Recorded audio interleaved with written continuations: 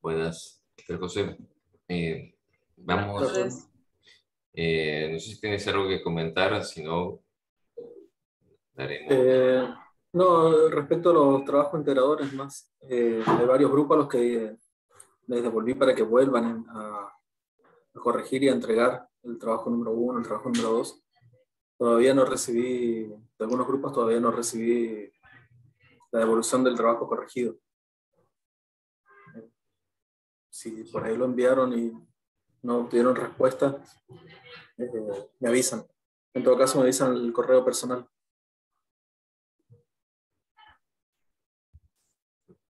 Laura, ¿algún comentario? No, no, también eh, tengo un par que tienen que eh, rehacer algunas partecitas del trabajo. Que vamos a ir acomodando en las próximas semanas para que expongan. Bueno. Entonces, si está el primer grupo que puede comenzar a exponer, hacer la presentación. Para la semana que viene, comisión 5 eh, y 18 eh, la van a poder exponer primero. Mientras se prepara la comisión 7, ¿puede ser que empiece? ¿Está comisión 7? Sí, pero... Bueno.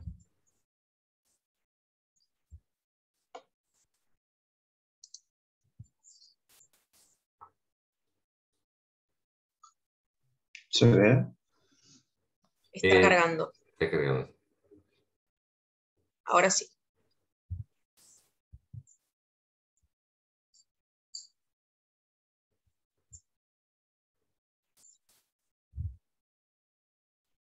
¿Empiezo más, profe? Sí, sí arranquen nomás. Eh, primero, buenas tardes. Nosotros somos el grupo número 7. Eh, somos Jonás Karen y Magallanes Ignacio. Eh, nuestro trabajo integrador consistió en lo que es la elaboración de la margarina. A ver, cambiar. En forma introductoria, lo que nosotros tuvimos que investigar, eh, podemos decir que la margarina eh, es un término genérico eh, para denominar distintos tipos de grasas que se utilizan en, en sustitución de lo que es la manteca o mantequilla.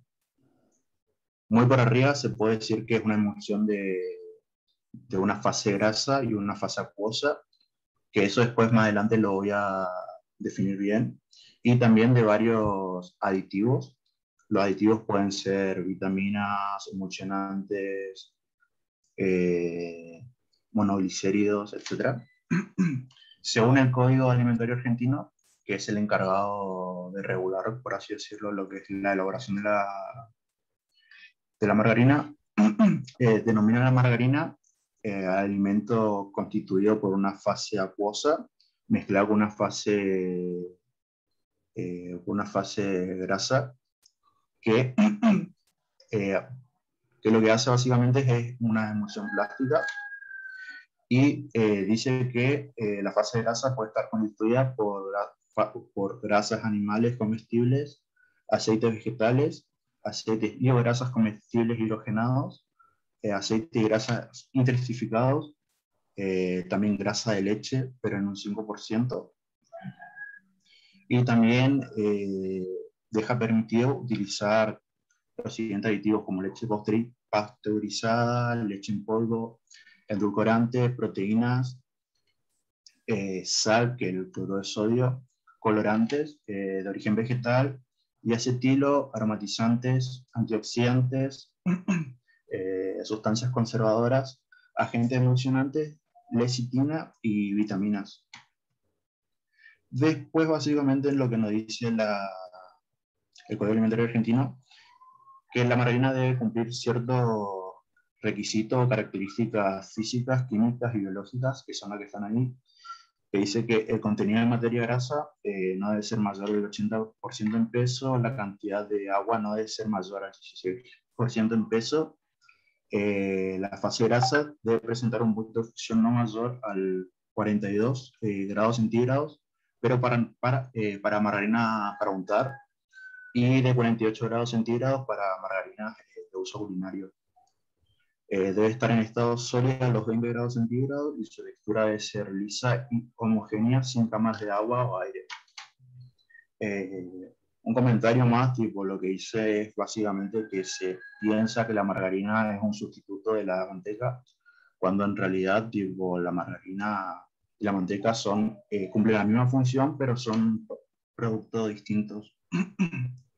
lo que sí, tipo, la margarina tiene una ventaja más, eh, una ventaja más económica en respecto a la manteca o mantequillas, eh, en lo económico y también lo que es en conservación.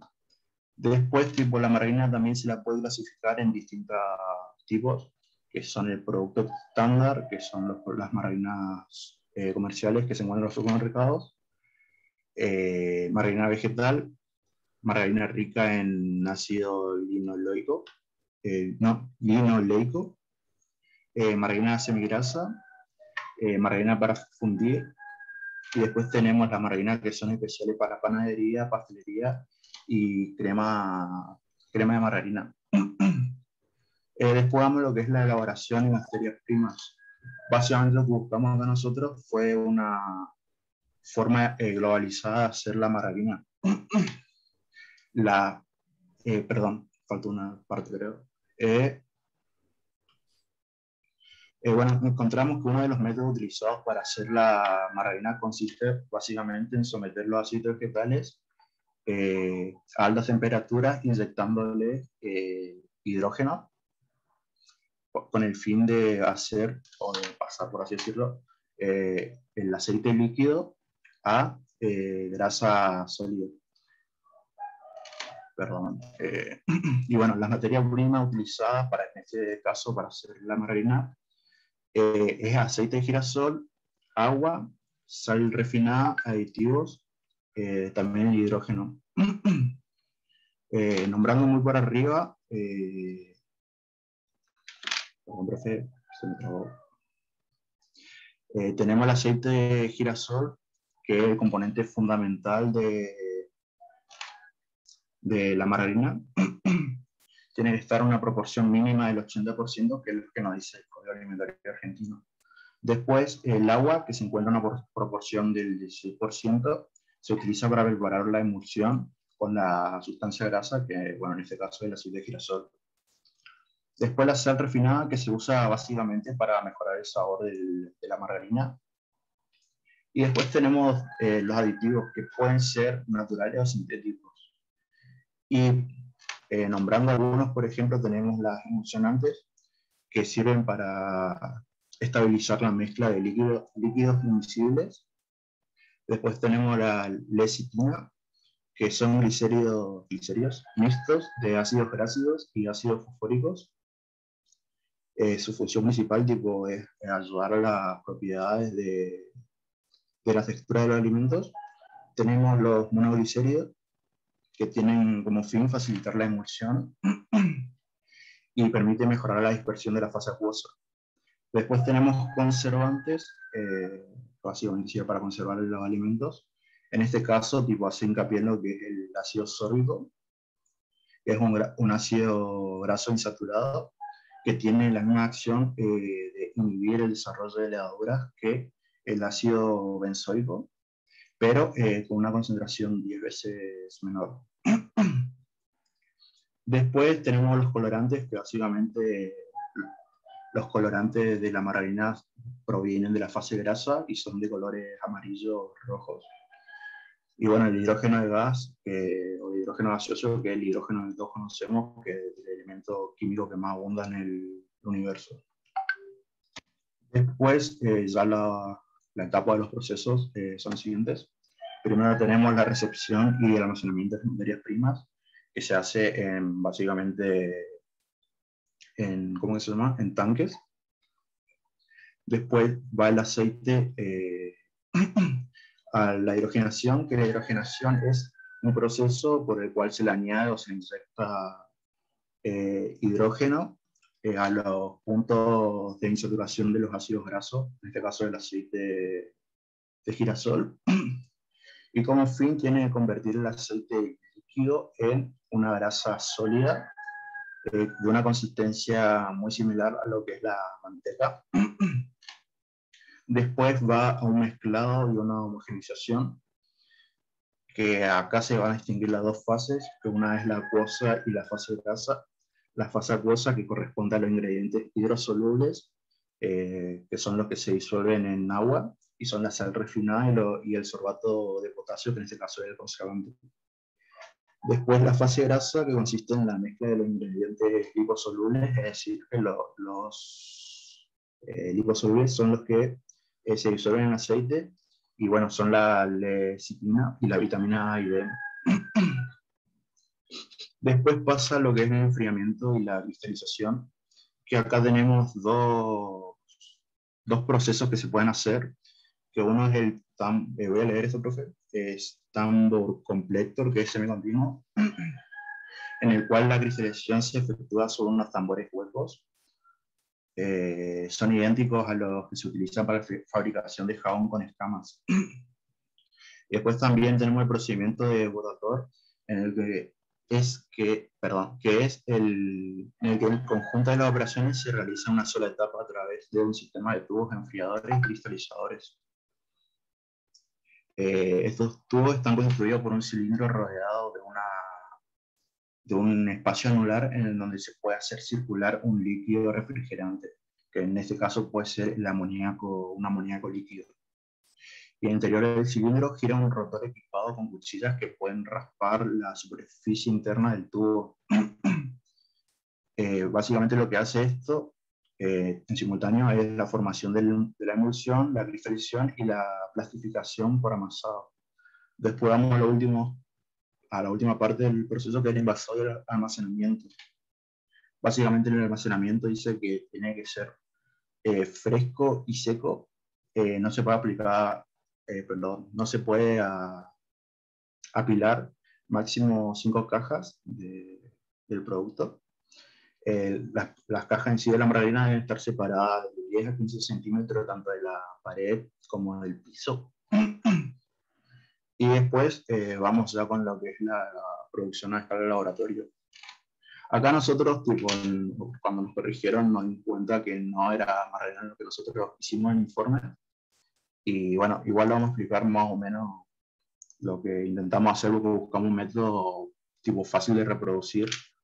Eh, se utiliza en este caso eh, tres reactivos que son los importantes. el aceite de oliva extra virgen, que está en un 22%, eh, del peso total de margarina o pseudo margarina. Eh, tenemos el aceite de coco al 50%, aceite de girasol al 28% y después como un aditivo tenemos la sal. Eh, lo primero que hicimos fue tipo en una taza y en una balanza pesar la, la, cantidad de aceite que vamos a utilizar. Una vez que ya tenemos todo pesado, mezclamos todo pero esto se mezcla en una olla, con, una olla de, de acero inoxidable eh, y con eh, a fuego, por así decirlo, ¿cómo se llama? Eh, a baño María. Esto básicamente para permitir o hacer que sea más fácil diluir el aceite de coco, que el aceite de coco en estado, perdón, a 20 grados centígrados está en estado sólido. Una vez que se diluye todo eso, eh, se deja enfriar a temperatura ambiente y eh, paso en otra diapositiva y le muestro cómo quedó la.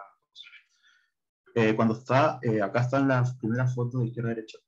Tenemos todo lo que es la, la, mezcla de los aceites. Después se lo deja enfriar en, un estado, en la temperatura ambiente y queda en este color igual. Después tipo se lo pone 20 minutos en un freezer o una heladera y toma un, un estado sólido similar a la margarina pero eh, es más amarillento. Y después tipo se hace un batido mezclado con una batidora y eh, se nota como empieza a cambiar de color y a tomar una consistencia muy similar a lo que es la margarina vegetal. Y eso sería básicamente lo, lo, que hicimos. Después tenemos lo que es el control de calidad. Eh, no sé cuánto tiempo aquí aproximadamente. Bueno, el control de calidad tenemos básicamente eh, consiste en lo que es recolectar y analizar los datos para luego corregirlo de manera adecuada. Esto tiene el fin de resguardar, resguardar la calidad y respetar los parámetros que exige cada entidad o marco regulatorio. Eh, tenemos los análisis sensoriales que involucran lo que es el olor, sabor, color y la apariencia del producto. Después tenemos los análisis físicos, que es la densidad relativa, el índice de refracción, determinación de acidez, índice de yo, y después tenemos el índice de refracción en el reactor, el pH en la fase acuosa, el punto de fusión en fase grasa y la prueba de emulsión. Eh, nosotros, tipo, por obvias razones, tipo, no pudimos hacer todo eso, hicimos solamente un análisis sensorial, que básicamente consistía en poner una escala y determinar el sabor, la textura, la distribución del agua, el color y el estado de sal. Ahora mi compañera tiene que explicar lo que es la escala industrial. Bueno, acá está el diagrama de bloque, pero lo que es en escala laboratorio. Ahora en escala industrial. Buenas tardes. Eh, bueno, te voy a explicar lo que sería el proceso a escala industrial. Eh, pasa nomás, diapositiva. Bueno, eh, nuestro proceso comienza con el preprensado y extracción con solvente. justamente como le dice su nombre, es un método para extraer el aceite. En este primer paso eh, entran las semillas oleaginosas. Em, estas semillas son vegetales en donde la semilla o fruto se puede extraer del aceite.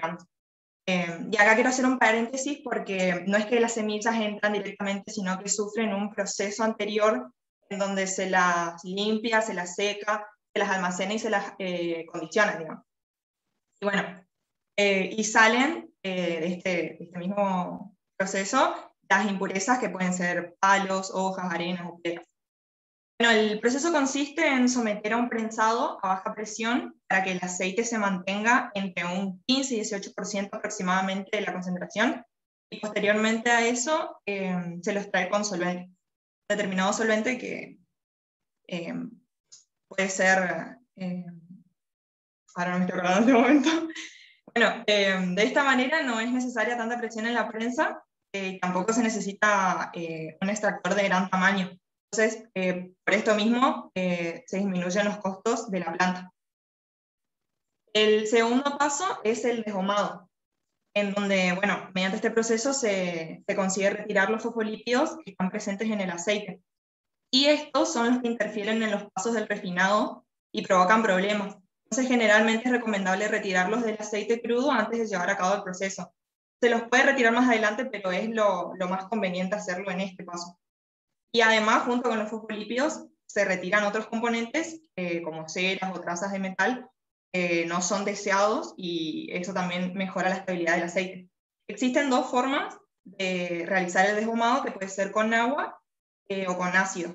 Eh, con agua se le añade agua al aceite calentado y los fosfolípidos hidratables se convierten en más insolubles son retiradas por un centrifugado y posteriormente un filtrado. Y el deshumado con aceite em, se lo usa generalmente cuando se desea eliminar fosfolípidos que no son hidratables del aceite. Bueno, la neutralización em, en este proceso se lleva a cabo, eh, se lleva a cabo para eliminar eh, los ácidos grasos libres que posee el aceite crudo y consiste en mezclar el aceite con una solución cáustica. Em, generalmente puede ser hidróxido de sodio a una elevada temperatura eh, ya que de esta forma los ácidos grasos se combinan con la solución eh, en una reacción de saponificación y eso da lugar a un jabón soluble en agua. Después, mediante un centrifugado, por ejemplo, se puede extraer el jabón de la mezcla y el aceite es necesario que se someta a un lavado para poder acabar con los restos de jabón que quedan después de, centrifugado. Em, la decoloración eh, es un proceso que sirve para eliminar las sustancias que pueden teñir al aceite y se lleva a cabo calentando el aceite junto a tierras absorbentes o carbón activo, para que los aceites em, y bueno, también las grasas eh, crudas poseen pigmentos que le dan color. Entonces, por ejemplo, las tierras eh, son buenas para eliminar la pigmentación verde y el carbón activo elimina los pigmentos rojos. Eh, la desodoración consiste en tratar el aceite a baja presión mediante un proceso de destilación para retirar las impurezas que son las responsables de malos olores y afectan en sí a las propiedades organolépticas del producto. Eh, durante la destilación, eh, la presión se puede reducir al mínimo, eh, pero la temperatura está limitada, porque si no, de lo contrario, se pueden producir fenómenos que no son deseados. Em, después, la modificación de grasas y aceites. Bueno, acá es necesario añadir a la margarina otros aceites em, para que puedan variar sus características físicas y químicas y así obtener la mezcla que cada uno desee, digamos. Eh, los aceites pueden ser líquidos, pueden ser grasas semisólidas y hardstock, que son aceites y, grasas hidrogenadas. Después eh, viene lo que sería el proceso de fraccionamiento, que es llevado a cabo para separar los aceites las grasas en dos fracciones con diferente composición de triglicéridos. Em, se separa en dos fracciones, ¿no es cierto? La primera es la, una que se llama oleína y posee un punto de fusión más alto, más bajo, perdón, y gran estabilidad para la oxidación. Y la segunda es la estearina, que posee un punto de fusión mucho más alto y eh, sí es ampliamente utilizada mucho en la industria alimentaria. Bueno, el fraccionamiento se puede llevar a cabo de, de tres maneras. Puede ser fraccionamiento en seco, fraccionamiento con solvente y fraccionamiento con detergente acuoso. Em, el primero, el fraccionamiento en seco, eh, es el, el, más económico, entonces es el que más se usa en las industrias, ya que los otros dos son más costosos, digamos. Incluso el fraccionamiento con detergente acuoso em, es muy, el proceso eh, lo, lo, tiene problema de contaminación porque se usa mucho. ¿Me escuchan? Sí. Hola. Hola. Sí, están pasadísimos de tiempo. Eh, si pueden abreviar o no dar tantos detalles, por favor, pero están pasadísimos de tiempo, eran 10 minutos nomás. Está. Eh, bueno, la interestificación es un método donde se modifican las grasas y los aceites para obtener un producto con mejores características físicas, y esta puede ser química o enzimática. La hidrogenación eh, se lleva a cabo por dos motivos principales, que puede ser mejorar la estabilidad de oxidación sería alargar la vida del producto y obtener un producto con características adecuadas. Em, el almacenamiento em, es donde se emulsiona la fase, la fase grasa y la fase acuosa, digamos, mediante una fuerte agitación. Eh, luego la pasteurización es un proceso que inhibe el crecimiento de bacterias, microorganismos y mejora la estabilidad microbiológica del producto. La cristalización es eh, una de las partes más importantes del proceso y, bueno, mediante un intercambiador de calor que se enfría la emulsión y se la cristaliza formándose el producto de naturaleza plástica. El envasado es el último paso y este puede ser tanto para margarina sólida como líquida y en ambos casos el material debe proporcionar una envoltura eh, que sea buena, que, sea, que tenga una barrera contra la luz y el aire para evitar el deterioro oxidativo. Y bueno, después pasamos a lo que sería el control de calidad, que bueno, justamente consiste en, medir una característica y compararla con un valor de referencia, interpretar resultados y ver si se encuentran en un rango correcto, eh, que puede ser, eh, hay tres eh, maneras de hacer el control de calidad, que es control de materias primas, control de producción y control del producto terminado. Y bueno, ahí estaría Bueno, un comentario nada más. Eh, había observado de que ustedes partieron de aceite, de la semilla, y en realidad lo que queríamos era que partieran de aceite, ¿no? Pero, bueno, no es, no es una complicación. Pues en general está bien lo que han planteado. Eh, un comentario sobre la exposición. Eh, ya que estamos, ya que están presentando frente a, pares, a estudiantes de ingeniería, hubiesen presentado la exposición con un diagrama de bloques o un diagrama de flujo, no con un texto. Habíamos dicho que el lenguaje de la ingeniería es el diagrama y el dibujo. Entonces lo tienen que utilizar al momento de exponer. Si fuese una exposición frente a personas que no están relacionadas con el tema, bueno, pueden hacer un texto, presentar un texto. Pero lo ideal para nosotros que, que somos técnicos, lo ideal es un diagrama de bloque, un diagrama de flujo. Es más claro, más sencillo seguir el proceso y lo van, lo van siguiendo paso a paso. No presentarlo al final, sino ponerlo e ir explicando paso a paso. Está, profe. Ah. Y una corrección sobre el control de calidad. El control de calidad no lo hacen frente a un, no lo comparan con un estándar. ¿Quién les da el control de calidad? ¿Quién les fija el control de calidad? ¿Quién les regula? El código alimentario. Ah, ok. No un estándar. ¿Mm? Ustedes tienen que contrastar contra el código alimentario. Tienen que cumplir con lo que les pide el código alimentario. Características organolépticas puede ser contra un estándar, pero el código alimentario es el que les pide los controles de calidad. Eso nomás por mi parte.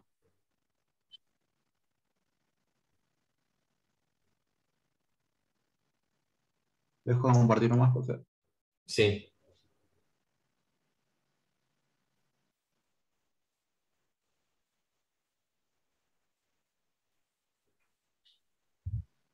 El siguiente grupo.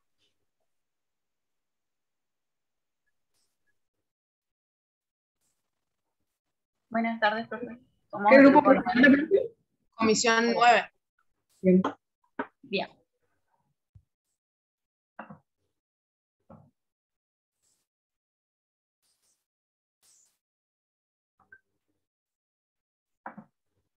Profe, antes de comenzar, nosotros les queríamos decir que nos tomamos el atrevimiento y extraoficialmente hicimos un mini laboratorio para ir mostrando en la parte del laboratorio cómo vamos obteniendo el producto. Bueno, ahora sí. Eh, perdón, antes de que inicien, mejor, pero recuerden que tienen 15 minutos más. Ok. O sea, traten de respetar el tiempo, por favor. Sí. Eh, bueno, nosotros somos el grupo 9. El grupo está compuesto por Agostina Gómez Borelli, Leandro Pintos y yo soy María Constanza Escocina. Nosotros le vamos a hablar sobre la producción del jabón. El jabón es un agente de limpieza que, que es habitual en todo el mundo. ¿no? Eh, puede elaborarse a partir de una producción artesanal o industrial y eh, contiene actualmente mucho de lo que son aromatizantes y eh, aditivos que nos dan eh, distintas propiedades, por eso tenemos tanta variedad que va desde jabones para bebé hasta jabones dermatológicos. Hablando un poco de las materias primas, el jabón se va a obtener eh, a partir de la reacción de materia grasa y alcali. Em, esta reacción químicamente se denomina hidrólisis alcalina de éster, pero es más conocida como proceso de saponificación. Su fórmula general es RCOX. La R va a representar a una cadena hidrocarburo, de hidrocarburo compuesta entre 8 a 22 átomos de carbono, dependiendo la materia grasa que se utilice, y la X represente al metal alcalino. La materia grasa eh, puede ser de origen tanto animal como de origen vegetal, dependiendo el jabón que se quiera obtener. Vamos a dividir en tres tipos la materia grasa, que son grasas duras, corresponde a todo lo que sea manteca de cerdo o grasa de vaca y de oveja. Y grasas blandas son todos aquellos materiales grasos de, cadenas carbonadas eh, con más de 12 átomos de carbono. Eh, acá están los aceites de soja, de maní, algodón, de durazno, entre otros, y los aceites láuricos que tienen cadenas de menos de 12 átomos de carbono. Actualmente los jabones están hechos con una combinación de ambas, eh, es decir, materia grasa de origen animal y de origen vegetal. Según el alcali que se utilice, podemos tener jabones duros que se obtienen a partir del hidróxido de sodio y jabones blandos que se obtienen a partir del hidróxido de potasio. Si me preguntan si podemos utilizar otro tipo de hidróxido, la respuesta es no, porque no se obtiene un jabón, se obtiene una masa que es insoluble en agua y que no tiene una acción detergente. A esto también se le puede añadir aditivos como colorantes, perfumes, fragmentos de flores resecas, fármacos como vitaminas, antioxidantes, antimanchas como carbonato de sodio y algunos conservantes como silicatos. Eh, hablando de la acción del jabón, de su funcionamiento, podemos aclarar que es una sal de hidróxido de sodio de potasio de ácidos grasos de cadenas largas.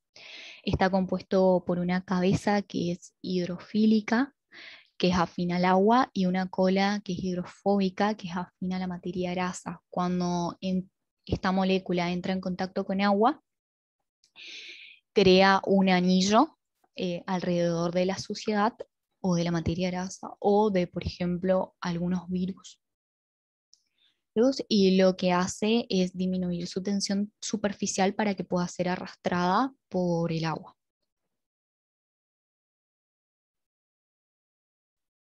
Hablando un poco de las normativas en Argentina, em, el jabón se encuentra regulado por la ANMAT, que es la Administración Nacional de Medicamentos alimentos y tecnologías médicas. Eh, la ANMAT eh, va a dividir a los jabones en productos domésticos, que son, o domisanitarios, que son todos aquellos productos de limpieza empleados para limpiar superficies inanimadas o ambientes. Acá se encuentran lo que es el jabón en polvo y detergentes. Y productos cosméticos o para higiene personal y perfumes, que son todos aquellos jabones pueden entrar en contacto con cualquier parte del cuerpo. A su vez, eh, mediante una disposición dada por la ANMAT y una resolución armonizada con el Mercosur, em, los jabones van a estar en listas de productos que pueden ser de grado 1 o de grado 2, dependiendo eh, las técnicas y requisitos que sigan. También vale aclarar que así como el ANMAT está armonizado con el Mercosur, también están armonizados con la Unión Europea. Las empresas em, que suministran hoy en día a la Argentina con jabones de distintas marcas son casi el 100% Unilever y la otra parte eh, PIG con distintos, distintas marcas como son Lux, DAP, Axe, eh, Ariel, Iori, entre otras. Eh, bien, mi nombre es Leandro Pintos y ahora vamos a hablar del proceso de producción en el laboratorio. Eh, los reactivos que utilizamos fueron aceite vegetal, salmuera, solución de hidróxido de sodio al 23% y también un aceite esencial para aromatizar el jabón. A continuación eh, tenemos un diagrama de bloque en la cual observamos las etapas de la elaboración del jabón sólido. ¿sí? Eh, la primera etapa es la saponificación, donde eh, agregamos el aceite y la solución de hidróxido de sodio. Luego pasamos a la precipitación, donde agregamos la salmuera Después en la etapa de filtración podemos observar que sale la glicerina disuelta en, agua, en el agua salada. Y por último eh, viene la etapa de moldeo, donde se obtiene el producto final, que es el jabón. Eh, bien, eh, ahora podemos observar un diagrama de equipo de cómo van a ser utilizados los siguientes materiales, que son las probetas, los vasos de precipitado, papel tornasol, varilla de vidrio, mechero Bunsen, tela metálica de amianto, trípode, embudo, embudo de vidrio de vástago largo, papel de filtro, espátula y cuchillo. Bien, ahora vamos a ver en detalle las etapas de la técnica operatoria de elaboración que ya nombré anteriormente. La primera etapa es la saponificación, donde medimos 50 mililitros de aceite vegetal en una probeta y lo vertimos en un vaso precipitado de 250 mililitros. Eh, luego medimos 30 mililitros de solución de hidróxido de sodio al 23% en otra probeta y lo agregamos al vaso de precipitados que contenía el aceite vegetal, así como podemos observar en el video.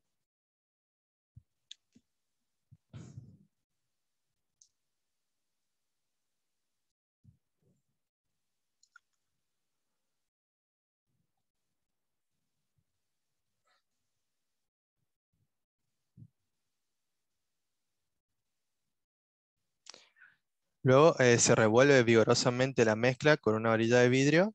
Esta agitación aproximadamente se debe mantener por un intervalo de 20 a 45 minutos. eh, y la mezcla lentamente se, va- se tornará opaca y va a aumentar su viscosidad. También eh, podemos observar que si se toca el vaso desde afuera, eh, está caliente. Esto quiere decir que la reacción es una reacción exotérmica. Luego colocamos el vaso de precipitado sobre una malla de amianto que se encuentra sobre un trípode. Calentamos el vaso con un mechero Bunsen hasta que la mezcla eh, se convierte en una pasta blanquecina. Y por último, retiramos el vaso de precipitado del fuego y lo dejamos enfriar. Así como podemos observar en los siguientes videos.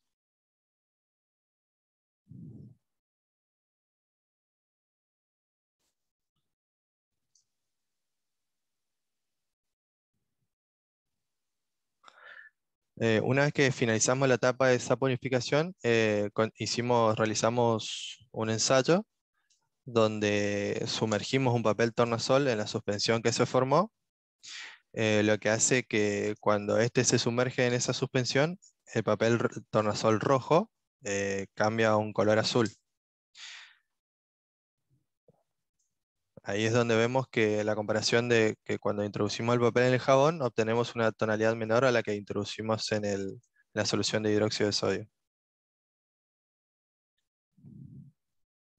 Una vez que finalizamos el ensayo, eh, pasamos a la próxima etapa, que es la precipitación salina, donde agregamos 15 gramos de sal común a la suspensión y revolvimos con una varilla de vidrio. Ahí vemos, eh, se observa que después de agregar la sal común, el jabón eh, se separa de la glicerina.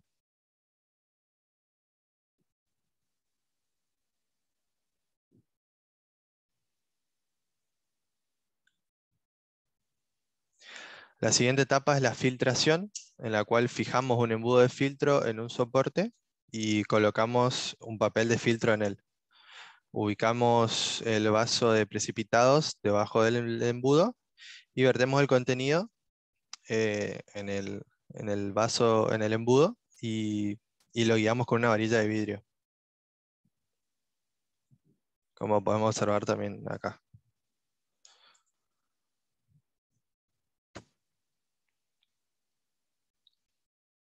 Eso fue recién hecho el- la filtración. Acá vemos un día más tarde cómo quedó el jabón.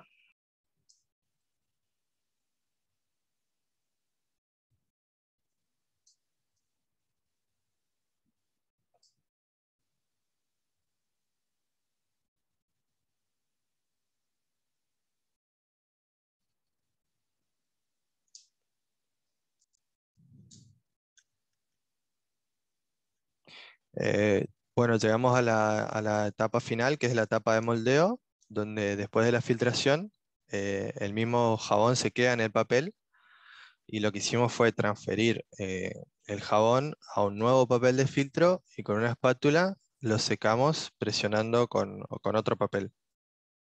Y para ir finalizando este proceso, lo que se hace es se procede a cortar en la forma que, que se desea con un cuchillo.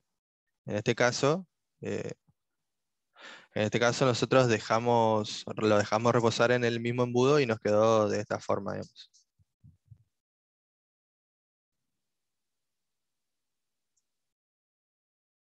Buenas tardes, yo soy Manuela Agustina. Ahora vamos a ver los ensayos de calidad que se le pueden realizar al producto obtenido tanto como a los reactivos a. Tenemos el ensayo al aceite. Eh, eh, cada aceite grasa va a tener un índice de saponificación, que es la cantidad de hidróxido de potasio o sodio que eh, en, mi, en miligramos, que se necesita para saponificar un gramo de aceite o grasa. Cada aceite o grasa va a tener un índice de saponificación distinto. Y para conocer este índice se realizó una titulación con un ácido fuerte, como puede ser ácido clorhídrico, eh, frente al exceso de hidróxido de sodio. Y luego se calcula mediante esta ecuación, donde tenemos el peso molecular del hidróxido a utilizar, la diferencia de volumen de hidróxido clorhídrico utilizado en la titulación de la mezcla, menos eh, el ácido clorhídrico, el volumen de ácido clorhídrico utilizado en el, en el hidróxido multiplicado por eh, la normalidad del ácido sobre la masa de la muestra. Este, este ensayo eh, a veces no es necesario porque ya tenemos tabulado el índice de refracción de cada tipo de aceite, el índice de saponificación. Eh, para el ensayo del hidróxido también usamos ácido clorhídrico, esto es para asegurar la concentración de haber realizado la solución, porque si esta es una solución ya certificada, no es necesario pero acá calculamos la normalidad del hidróxido con el volumen eh, del ácido clorhídrico utilizado por la normalidad sobre el volumen del hidróxido de sodio ah, utilizado. Por siguiente tenemos el ensayo eh, de pH. Para este se pueden utilizar un pHímetro o un papel tornasol. Como vimos, se realizó un ensayo de pH con papel tornasol antes de pasar al filtrado del jabón eh, para asegurar un eh, el pH adecuado. A nosotros nos quedó bastante alcalino igualmente. Si el pH fuera muy alcalino, eh, se, se, puede proceder a agregar más aceite para, durante la saponificación para disminuir esa alcalinidad. Y en el producto terminado, para, se toma una pequeña muestra, se lo diluye en agua destilada, y luego con el papel tornaxol se mide nuevamente el pH. también podemos calcular el ensayo para conocer el porcentaje de humedad. Eh, para conocer la cantidad de agua presente en el jabón, este, tiene este porcentaje de que es aceptable en un rango del 10-18%, y para conocerlo tenemos que tomar una muestra de peso A que vamos a secar en una muestra durante unos segundos. Esta se retira, se pesa y se realiza de nuevo para conseguir un peso C. Se realiza esta ecuación, se obtiene el porcentaje de jabón Después al porcentaje total se le resta el porcentaje de jabón y obtenemos el porcentaje de humedad. Después tenemos un ensayo de espuma donde probamos la capacidad de formar espuma del jabón. Eh, vamos a medir, en, vamos a poner una pequeña muestra en agua también, agua destilada, y se mide el se hace la diferencia, para medirlo se mide la diferencia del volumen de la cantidad de agua que se utilizó menos eh, el agua sin espuma. Una vez formada la espuma, se utiliza aquí Y esto es, se realiza eh, idealmente con agua destilada porque la, capacidad de formar espuma puede variar según la dureza del agua. Y después tenemos los ensayos sensoriales, eh, que esto los verificamos al lavarnos las manos. Podemos comprobar la cremosidad del jabón, el condicionamiento, que es la cantidad de jabón que se desprende y queda en nuestras manos al ser utilizado y la limpieza, que es la facilidad de atrapar la suciedad. Tenemos la elaboración del jabón, los Disculpen, chicos, eh, vamos a interrumpir acá la exposición de ustedes. Nosotros le habíamos dicho que tenían que poner en 15 minutos y eso significa que ustedes tienen que elegir los contenidos de lo que van a, exponer. Sí, profe, le pedimos disculpas, nosotros entendimos que eran 20 minutos y eh, de todos modos ya están... Y lo preparamos bien, justo. No, yo entiendo que los han preparado. O sea, veo que están muy bien hechos las exposiciones, el trabajo está muy interesante, pero también, eh, digamos, es importante que se cumplan con las pautas que, eh, que tiene cada uno, ¿no es cierto? Entonces, el tiempo es 15 minutos, podemos extenderlo un poquito, pero ustedes tenían que haber puesto seleccionado los contenidos, lo que iban a hablar para, para la exposición. Sí, profe, disculpa. Bueno. Eh, bueno, eh, tenemos diferentes métodos que tenemos en proceso. Les vuelvo a decir, les pido por favor que dejen la presentación y vamos a ah. seguir con el próximo grupo. Después nos mandan la, la presentación a ustedes.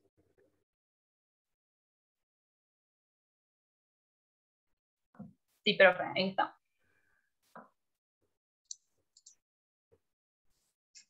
Bien, comisión 3. No sé si tenían alguna pregunta, José y Rubén. No, no, no, estaba bien explicado todo, me parece muy bien. laboratorio también muy interesante. Comparto, La verdad que los felicito por todo lo que han hecho, pero tenemos que respetar las pautas eh, que nos hemos eh, propuesto. Sí, compartan, chicos, comisión 3. Bueno.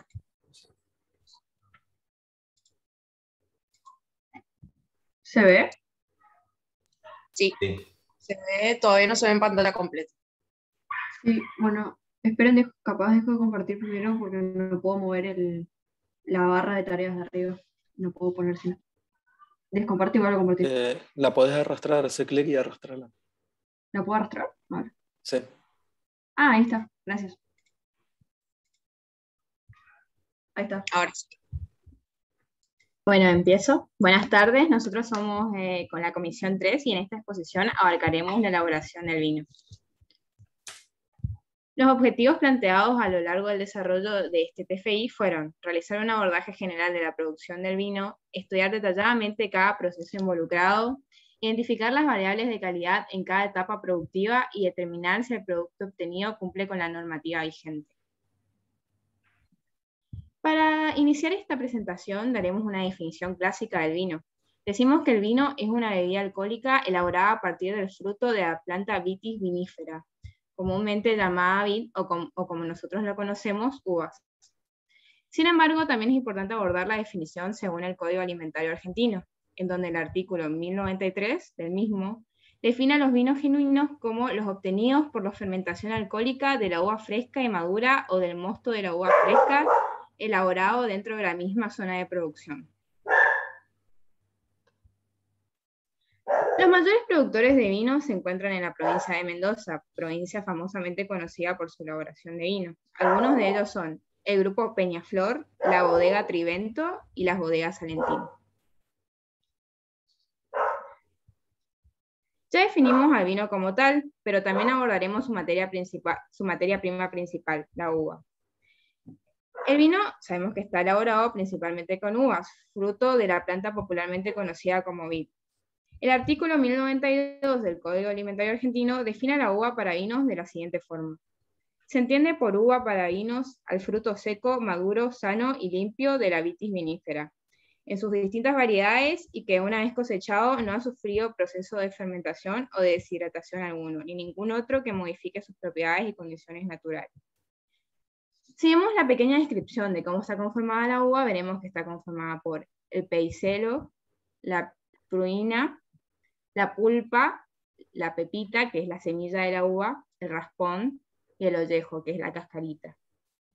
También es importante comentar que los tipos y las clases de vino surgen desde los diferentes tipos de uvas. Los más conocidos son el vino tinto y el vino blanco. En la Firmina podemos ver algunas de las marcas principales de dichos vinos en Argentina. Bien, eh, dado que el vino es un producto alimentario de consumo, eh, este presenta un gran número de regulaciones y normativas para su producción y su comercialización. Eh, estas regulaciones se, o bueno, los organismos que se encargan de, de, establecer estas regulaciones son principalmente el ANMAT, por un lado, que ya lo mencionaron anteriormente, y el INB, que es el Instituto Nacional de Vitivinicultura, que es un organismo derivado del Ministerio de Agricultura, Ganadería y Pesca. Eh, ambas entidades establecen las regulaciones vigentes siguiendo el Código Alimentario Argentino, eh, principalmente el capítulo 13 de bebidas fermentadas, en el cual se dicta la clasificación de los vinos y las normas de calidad analíticas que tienen que tener. Y eh, la Ley General de Vinos número 14.878, que establece las condiciones de seguridad e higiene de las cuestiones relacionadas al, eh, a la manipulación de la materia prima, los procesos de cosecha y elaboración y la infraestructura de producción. Bien, eh, ahora bien, en esta parte no, no, no, nos queremos detener mucho, pero nos parece interesante plantear. Eh, a la izquierda lo que se ve son dos cromatogramas correspondientes a cromatografía ultravioleta de dos muestras de vino tinto. Eh, no es por ahondar en detalles, pero es interesante resaltar el gran número de ojivas que presentan eh, estos cromatogramas, lo que es una clara muestra del alto número de componentes que forman al vino. Es decir, que el vino es una mezcla de una gran cantidad de sustancias. Eh, estas sustancias, algunas de ellas se encuentran a la derecha, como por ejemplo son eh, los compuestos carbonilos, que en este caso, por ejemplo, mostramos el etanoato de etilo, que es un éster que le da eh, aromas al vino. los taninos, que eh, es el nombre genérico de una serie de sustancias fenólicas que pueden contener los vinos. En este caso, la que se ve ahí es la catequina, que, eh, bueno, el ingeniero Kier eh, me va a corregir si me equivoco, es un tanino condensado procedente de la uva. También están los azúcares por abajo, que en este caso es la glucosa, por ejemplo, y por último también están los ácidos orgánicos, como por ejemplo el ácido acético. Todas estas sustancias y muchas más constituyen las características del vino, los aromas, los sabores, los colores, etc. Sin embargo, no son las únicas sustancias presentes en el vino, ya que también existen otras que necesitan ser reguladas con el fin de no suponer un riesgo para el consumo. Y de ahí derivan algunos de los parámetros analíticos eh, establecidos por los organismos nombrados anteriormente. Em, y bueno, estos son los, los más importantes, son por ejemplo el pH, el cual se debe encontrar entre, en entre 3 y 3,6. La acidez volátil medida en ácido acético que no puede excederse los 1,2 gramos por litro de vino. Eh, el anhidro sulfuroso, que es una sustancia eh, cuyo uso se explicará un poquito más adelante, eh, el cual no puede superar los 130 miligramos por litro y por supuesto el grado alcohólico del vino, o sea, el contenido de alcohol que tiene, el cual debe rondar aproximadamente entre un 14 y un 15%. Em, cabe aclarar que tanto el pH como el grado alcohólico no se encuentran como tal normalizados por los organismos, sino que se utilizan estos valores de referencia como indicador de, por así decirlo, que también se está llevando a cabo el proceso. O sea, si, si nuestro vino final tienen estos, cuentan con este pH y este grado alcohólico, eh, nos indica de que el proceso de elaboración se está llevando de forma correcta. Bien, em, te voy a explicar ahora un poco lo que, lo que hubiéramos hecho si hubiéramos podido realizar el, el vino en un laboratorio. Para empezar, en la, a la izquierda de la diapositiva tenemos los materiales y los reactivos que hubiéramos utilizado. Y voy a explicar un poco la técnica operatoria como para entrar en, en detalle acerca de las operaciones sobre todo. Eh, en, primer, en primer lugar, lo primero que haríamos es pesar las uvas que se utilizarán para saber cuánto vino el nitro se llegaría a obtener. Y a partir de esas uvas se realizan los correspondientes ensayos de calidad explicados previamente por mi compañera. Además, eh, pasado esto, le quitamos el raspón a la uva y realizamos una operación que se llama estrujado o prensado, en la cual se rompe el ollejo y se obtiene una pasta constituida por mosto, pulpa, ollejos y pepitas. Em, esta pasta se pasa a un recipiente plástico y se añade el anhidro sulfuroso que actúa como antioxidante y antiséptico y asegura la estabilidad y conservación del vino y regula la fermentación alcohólica. Em, para, para, que la fermentación alcohólica se lleve a cabo, que es el proceso estrella esta de, el proceso de elaboración del vino, se añaden levaduras y se añade fosfato de amonio, que es un nutriente de levaduras. Esta fermentación alcohólica consiste en la transformación de azúcares en alcohol etílico con desprendimiento de dióxido de carbono y calor por medio de las levaduras. Em, en simultáneo a esta operación se realiza la maceración, que consiste en una extracción sólido-líquido en la que se extraen los antocianos y taninos eh, del ollejo de la uva que le dan sabores, olores y colores característicos al vino. Una vez finalizado el proceso de fermentación y maceración, se, realizó un trasvase en el cual se escurre el vino con un colador para retener las partículas sólidas, eh, es decir, el sombrero. Y luego ese sombrero se pasa a una prensa en el cual se extraen los restos de vino eh, y se ingresan junto con lo obtenido del colador. Este nuevo recipiente en el cual vamos a insertar el vino tiene que tener, eh, debe estar bien cerrado y no tiene que tener cámara de aire, es decir, tiene que estar completamente lleno. En este recipiente se va a dejar de cantar la materia sólida que pueda llegar a quedar en nuestro vino eh, durante una semana. A este proceso se le conoce como clarificación natural y posteriormente a eso, con la ayuda de una manguera, se trasvasa el vino limpio a otro recipiente con las mismas características que el anterior. Una vez que el vino se trasegó, este está limpio y por lo tanto, para obtener mejor sabor, se lo deja en reposo y tapado por unos meses. Durante este proceso ocurre lo que se llama fermentación maloláctica, que es la transformación del ácido málico a ácido láctico por medio de bacterias que se encuentran en las uvas. Debido a la además, debido a la presencia de sales, en particular sales de potasio, se forman con el ácido tartárico una sal llamada bitartrato de potasio. Esta sal se tiene que eliminar antes que se deposite, ya que el depósito de estas sales causa la desestabilización del, del vino mediante un proceso que se llama estabilización tartárica en frío mediante el cual se elimina el bitartrato en forma de cristales.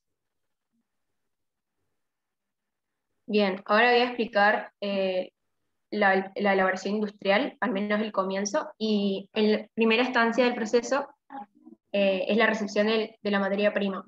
Las uvas ingresan a la planta en camiones de remolque que las traen directamente del viñedo. Se analiza la calidad de las mismas, es decir, se controla el pH, contenido de azúcares y la madurez. Estas uvas se reciben en una tolva con balanza, la cual permite saber la cantidad de materia prima que va a ingresar a la planta. Y luego, con ayuda de un tornillo sin fin, se trasladan eh, a una cinta transportadora que las conduce a una maquinaria que se llama despalilladora, que se encarga de separar las uvas del raspón y los restos del racimo. Posteriormente a esto, la vendimia cae en una estrujadora de rodillo, en la cual se extrae el mosto de la uva, y esta máquina contiene una serie de rodillos paralelos que giran en sentido contrario, permitiendo el paso de los granos de uva entre ellos, provocando el aplastamiento de las uvas y obteniéndose de esta manera el mosto.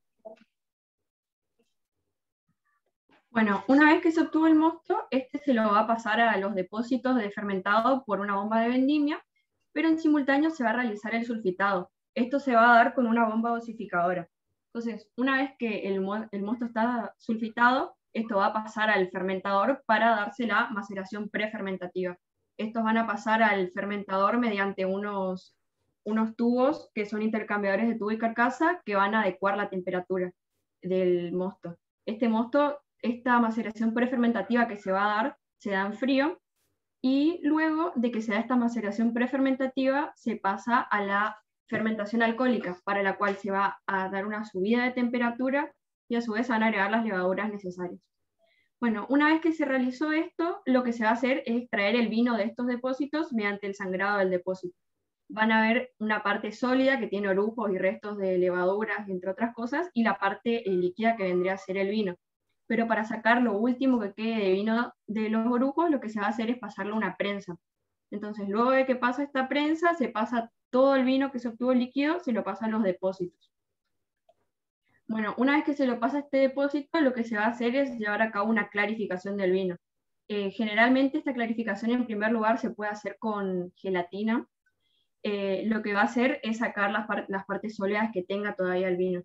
Una vez que suceda esto, se pasa a un filtro de placas en el cual se va a sacar esta parte sólida que tenga la gelatina y por último va a pasar a un intercambiador de placas en el cual se van a agregar cristales eh, de bitartrato de potasio para poder sacar las sales que tiene el vino. Y una vez que se sacan estas sales se vuelve a filtrar el vino nuevamente. Luego de esto pasan a barricas de madera o los barriles en los cuales se deja estacionar el vino para que tome un mayor sabor se puede dar ciertas clasificaciones, o sea, puede, mientras más tiempo esté estacionado el vino, mayor va a ser el sabor y la calidad que tenga. Entonces, una vez que se llega al punto al que quiere llegar la, la industria, eh, lo que se hace es hacer los ensayos de calidad necesarios y luego se pasa un equipo triblock, que lo que hace es eh, poner el contenido de vino en las botellas, se los rotula y se les pone el corcho. Y una vez que se hizo esto, lo que se hace es traspasarlos a, llevarlos a las cajas y apilarlos para poder comercializarlos. Acá está el diagrama industrial, que, el diagrama de flujo que hicimos en verdad para representar el trabajo a escala industrial.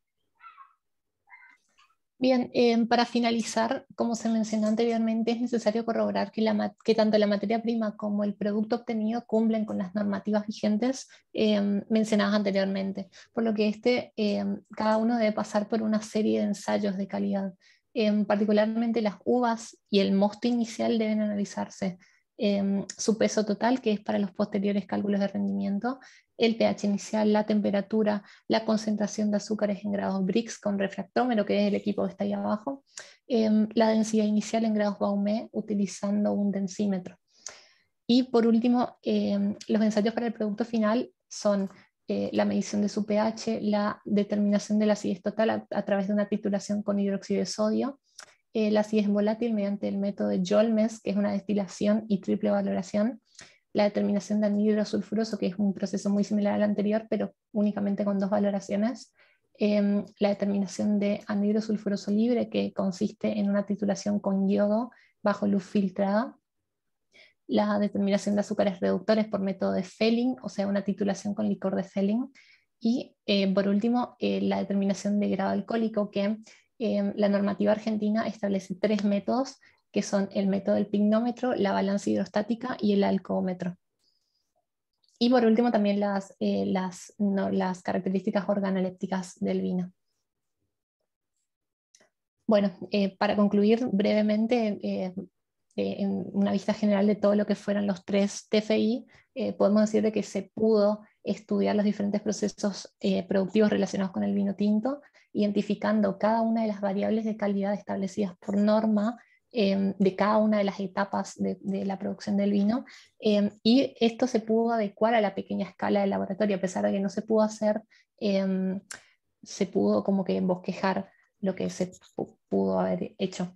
Y bueno, y por último también fue posible afianzar los conocimientos teóricos y prácticos que adquirimos a lo largo de este año en esta, en, esta cátedra. Bueno, esta es la, la bibliografía que utilizamos y y bueno, eso sería todo. Gracias por escuchar. Bueno, muy buena la presentación, lo felicito. ¿Y tienes alguna pregunta? No, sé.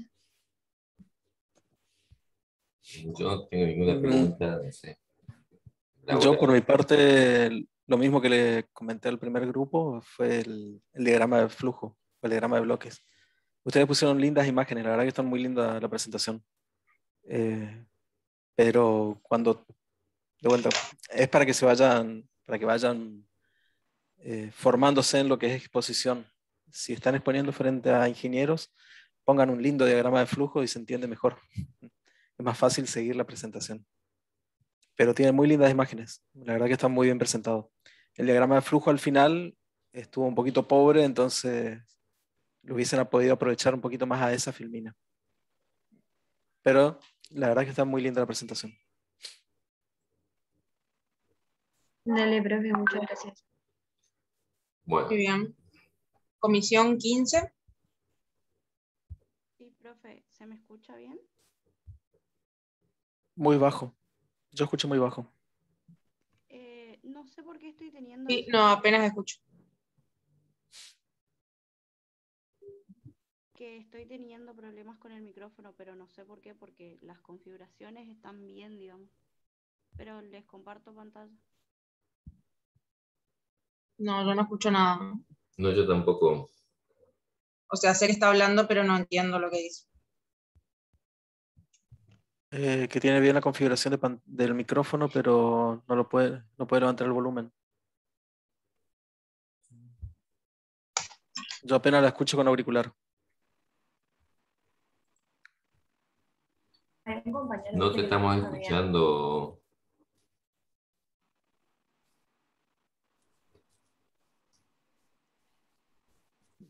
Selene, ¿vos estás compartiendo? No, no, no. Ximena está compartiendo. Eh, ahí los chicos, profe, ahí los chicos ponen en el chat que están escuchando bien. Sí, yo con auricular te escucho, pero... Yo también. Con auricular. No, yo no escucho nada. Estoy sin auriculares, pero no escucho nada. Eh, que, que, arranque nomás, yo, yo, la voy escuchando. Bueno.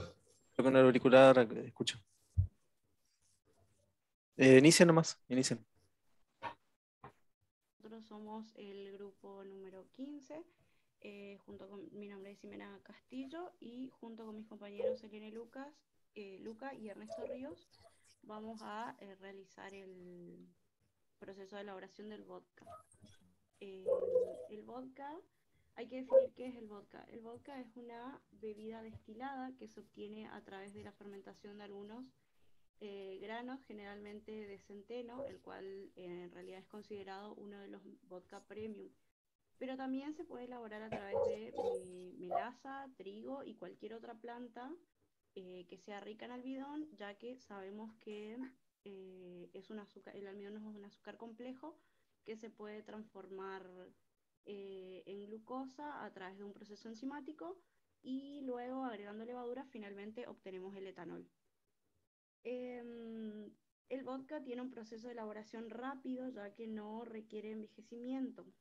En primer lugar, se obtiene el líquido alcohólico bastante puro luego de la fermentación del almidón. Em, que luego posteriormente se realiza el destilado en un alambique, que es un, uno de los aparatos utilizados para la destilación eh, de líquidos mediante un proceso de evaporación y fermentación, o sea, una destilación. Eh, el número de destilaciones eh, indica la pureza y la calidad del producto. Lo habitual es que este proceso se realice, se realice dos o tres veces, pero también existe un vodka, que es el premium anteriormente nombrado, que puede estar destilado hasta nueve veces. Continuando con el proceso, viene la filtración para eliminar impurezas y por último se realiza la disolución en agua pura hasta conseguir una graduación en torno a los 40 grados de alcohol, ya que eh, tenemos, eh, si no eh, agregamos agua pura, entonces obtenemos un etanol con 96 grados de alcohol. aunque también es cierto que existen vodkas rusos que admiten entre 80 y 96 grados de alcohol no es así en Argentina. Estas características de elaboración fácil, por así decirlo, es lo que hace eh, del vodka una de las bebidas con mayor producción en el mundo. En nuestro país, eh, en nuestro país eh, las marcas más conocidas son Smirnoff, Absolut, Cernova y entre muchas otras más. Pero el consumo de vodka en Argentina llega al 25,1% de manera anual. Con respecto a las regulaciones, está regulado, por supuesto, por el Código Alimentario de la ONU. Eh, en el artículo, en el capítulo 14 del Código Alimentario, con respecto a las bebidas espirituosas, alcohólicas y destilados. Eh, el artículo 1116 define al vodka de la siguiente forma con graduación alcohólica de 36 a 54% en volumen y a 20 grados. Podrá ser aromatizado con sustancias naturales y de origen vegetal. Eh, el coeficiente de congéneris, que con, perdón, esto lo estoy leyendo, congéneres, que es eh, la suma de la acidez volátil, aldehídos, acetato de etilo y sumatoria de alcoholes y furfural, eh, todos todos expresados en miligramos sobre 100 gramos, sobre 100 mililitros de alcohol anhidro. esa es la definición del eh, coeficiente de congéneres que, según la ANMAT, el vodka no podrá ser superior a 50 miligramos sobre 100 mililitros de alcohol anhidro y la bebida puede ser edulcorada hasta un máximo de 2 gramos por litro del producto las materias primas y equipos utilizados. Como materia prima principal, por supuesto, tenemos la papa, eh, agua, ácido cítrico 0,3%, eh, malta base, hidróxido de sodio 0,1 eh, normal. En equipos e instrumentos tenemos pelador de papas, cuchillos, procesadoras, recipientes, todo es, a escala laboratorio. Filtro colador, vaso de precipitado, refractómetro, matraz de 50 mililitros, bureta de 25 a 50 mililitros, vaso universal, botella, tapón, termómetro, fermentador, el alambique que lo expliqué anteriormente, columnas de destilación, eh, tanque de acero inoxidable y un filtro. Eh, la elaboración la va a explicar mi compañera. El proceso de elaboración del vodka parte de la utilización de un líquido que se obtiene fermentando cereales y agua. Primero debe prepararse el jugo vegetal, que en este caso utilizaremos como materia prima la papa. Se comienza con la recepción y el pesado de la materia prima. Luego se procede con el lavado y pelado de las mismas. Seguidamente se reduce en trozos pequeños para mejorar la eficiencia de la molienda. Seguido comienza la etapa de la molienda, con agua y la papa, que van en relación uno a uno. Se debe filtrar luego, para retirar el líquido. Una vez hecho esto, se procede a realizar la extracción del almidón, en el que se debe separar el mismo de la celulosa, y luego volverse a filtrar para extraer el almidón que se encuentra en la parte líquida. Próximamente se deja de cantar y en el fondo se, se observa la acumulación de almidón que va a retirarse de la parte líquida. La siguiente etapa consiste en la cocción de la mezcla concentrada a altas temperaturas, 90 grados centígrados aproximadamente, para transformar el almidón en azúcar. En la tercera etapa se realiza la hidrólisis, utilizando malta base que contiene unas enzimas que se llaman dextrinas con las que se obtiene glucosa y maltosa. El agua se debe agregar en relación 1 a 3 con la malta base y luego calentarse a 65 grados centígrados durante una hora. En ese tiempo, las enzimas se van a activar y se van a obtener azúcares fermentables que luego son ingeridos por las levaduras y transformados en alcohol. En este proceso se realiza una medición y ajuste de azúcares para obtener unos parámetros ideales para la fermentación. La próxima etapa es la fermentación, en la cual hay una variedad de factores que se deben tener en cuenta para obtener una adecuada fermentación. Al principio la fermentación es tumultuosa, que inicia después de las 24 horas y tiene una duración aproximada de 4 o 6 días, y se hace evidente por la turbulencia que ocasiona la intensa producción del gas. Luego sigue una fermentación lenta que dura unos 7 días. Terminada la fase tumultuosa, eh, y esta etapa es crucial ya que suele detener la fermentación y los pinos pues, tienden a quebrarse. Es un burbujeo muy suave y hay poca actividad del gas. Eh, luego se procede a la etapa llamada trasiego de desborde, que es el proceso en el cual se separa el vino base de los sedimentos, obteniéndose un vino base que es el medio del cual extraemos el alcohol, y eh, otro producto llamado borras o sedimentos, conformados por levaduras muertas o sustancias orgánicas de alto peso molecular que se acumulan en la parte del fondo y son retirados del proceso. Con el vino base, se pasa a la parte de destilación con un alambique. La primera destilación es la etapa en la cual se coloca el mosto base en el alambique y se empieza a calentar hasta llegar a un punto de ebullición primero del alcohol, aproximadamente a unos 65-70 grados centígrados, donde empezará a evaporarse el alcohol y se acumula en el capitel del alambique. Luego pasa por un cuello de cisne hasta llegar a un serpentín donde pasa el estado de líquido y se recoge realizando un fraccionamiento de destilado. Se comienza retirando la cabeza del destilado, donde eh, están los alcoholes metálicos que no son aptos para el consumo, luego se recoge el cuerpo del destilado, que es el alcohol etílico, y se desecha la cola del destilado, donde se encuentran alcoholes superiores como propanol, butano y isobutanol, entre otros. La próxima etapa consiste en la rectificación, en la cual extraemos los subproductos indeseables de la fermentación mediante el paso de hidróxido en bruto por varias columnas de destilación, en la cual obtenemos un producto neutro. Esta etapa es opcional y a escala artesanal, pero suele hacerse en las empresas grandes para obtener mejor calidad y rendimiento. Luego se almacena en tanques de acero inoxidable, vidrio o de uso industrial que no arrastren aromas indeseables. Una de las últimas etapas es la estandarización, en la cual el, vodka debe ser ajustado eh, con un contenido alcohólico de 45 grados. Y para esto es necesario bajar el vodka a este grado agregándole agua. Seguidamente se realiza una filtración antes del llenado de las botellas para eliminar microorganismos o pequeñas impurezas que quedaron en el medio. La última etapa es el embotellado, en la cual es la última instancia para realizar ajustes cumpliendo con los estándares de sanidad y seguridad alimentaria. Los análisis realizados, eh, se realiza el, el análisis del peso total de la materia prima para el posterior cálculo del rendimiento. También antes de la etapa de fermentación, la caracterización y ajuste eh, Después de haberse verificado que hubo una transformación hasta llegar a azúcar, se puede leer la cantidad de dulzor mediante un refractómetro que se necesita para eh, la cantidad de azúcar que se necesita para que el fermento produzca alcohol. Eh, tiene que ser de unos 21 a 24 grados Brix. En la preparación eh, tiene un porcentaje mucho menor, por lo que se realiza un ajuste agregando azúcar azúcar rubio para que no arrastre impurezas.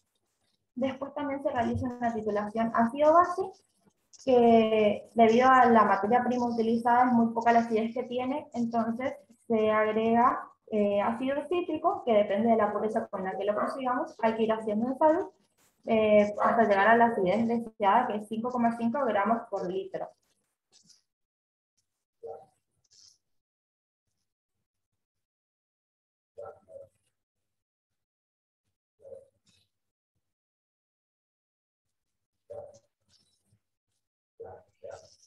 proceso de producción eh, industrial se divide en ocho procesos importantes.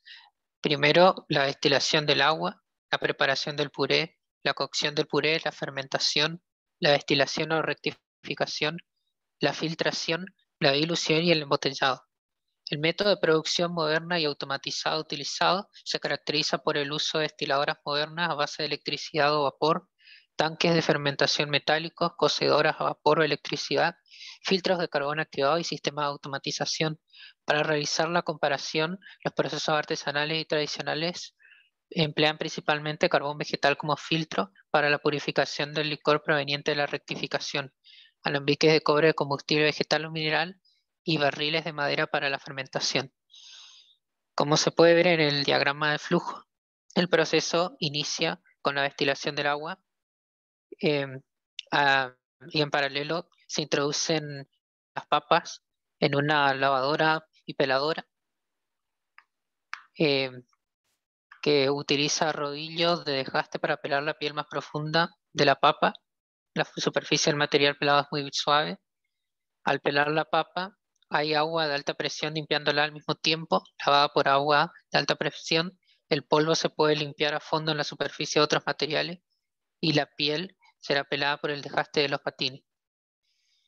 Luego, eh, esta papa pelada y lavada se pasa a un triturador, que es un tanque de mezcla de líquidos con agitador que combina la función de mezclar, disolver, calentar, enfriar y circular, y es adecuado para mezclar diversos materiales. Eh, posteriormente, el agua destilada y la papa triturada pasan todo al eh, que es la elaboradora o cocedora, donde también se añade ácido cítrico, amilasa, que es la enzima que cataliza la reacción química de la descomposición del almidón, y la levadura. Luego este proceso pasa a un tanque de fermentación donde se produce la fermentación alcohólica de la glucosa eh, y se obtiene como producto dióxido de carbono y etanol, que pasa a una destilación que consiste en una máquina destiladora elaborada con cobre rojo y acero inoxidable. Posee una canasta para filtro removible, dos columnas modulares de destilación y un condensador. Posteriormente, el destilado pasa por un filtro con carbón activado y se almacena en un tanque de almacenamiento. Aquí el, el volcán se encuentra al 95% y se le tiene que diluir. Para eso, a través de dosificadores, se inyecta agua destilada y se diluye en un tanque de preparación. Luego, mediante una válvula, se pasa a la embotelladora donde se emplean las botellas etiquetadas para obtener la botella de Gorka, el producto final. Podemos también este, realizar un análisis del diagrama de bloques y simplificamos las operaciones en una operación de mezclado donde tendremos dos ingresos, dos corrientes de ingreso, la masa de agua y la masa del puré de papas, Luego de esta operación obtenemos la masa de fermentado que pasa a una destilación, donde se obtiene la cola del destilado y el destilado, que pasa a una filtración, de donde se obtiene el vodka concentrado y las colas de filtración. Y este vodka concentrado se diluye con agua para obtener el vodka final.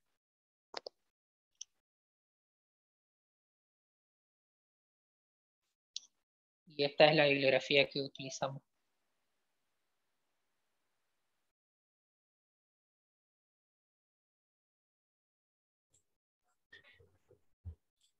Pues yo escuché la mitad de la charla que, que han hecho. No estaba silenciado. Eh, no, yo escuché, estaba bien. Está bien, Rubén. Correcto, lo que escuché me pareció bien.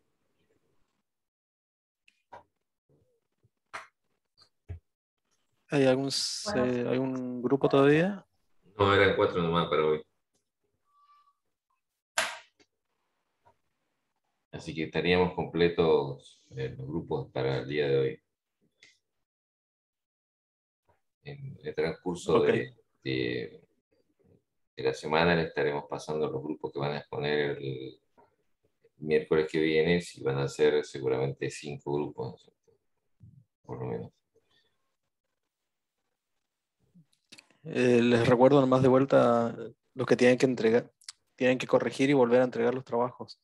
Tienen que tener todos aprobados, el, los tres trabajos integradores tienen que tenerlos aprobados. Sí. Y después tienen que enviar las presentaciones eh, ustedes. Claro, con tiempo para poder verlas. Eso lo enviamos ahora, profe, cuando termina la clase nomás. Sí, cuando quieran, no, no hay problema, pero tienen que mandarla antes de, de mandarla cuanto No, igual me refería a los que sí tenemos que enviar los que ya pusimos también. Eh, sí, la- eh, lo que le pedimos que manden las, las- las presentaciones, ¿no es cierto? El PowerPoint o...